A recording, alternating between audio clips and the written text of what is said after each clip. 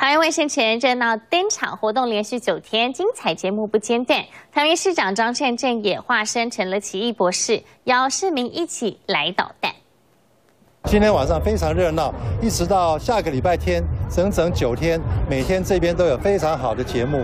呃，不只是变装，还有彩街等等。我们这次的主题是导弹鬼学院，所以到现场来可以看到很多导弹鬼的调皮主题。这一次哦，也是史上最大的这个会场，而且有最多的这个万圣节的搞干摊位哦，可以在现场可以陪伴大家。